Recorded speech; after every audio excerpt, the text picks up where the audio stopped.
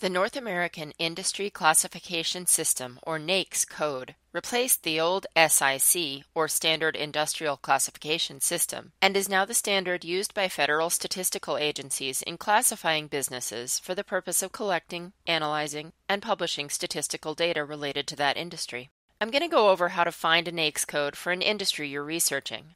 Knowing the NAICS code for an industry will help you get the best data when searching government and library databases. To locate the NAICS code for an industry, you can go to census.gov slash NAICS. You can browse industries here or search by keyword. The government uses what's called a controlled vocabulary, so not every word you search will get you the industry that you're looking for. For instance, the keyword for the shoe industry is footwear, I see here that the NAICS code for footwear manufacturing is 3162.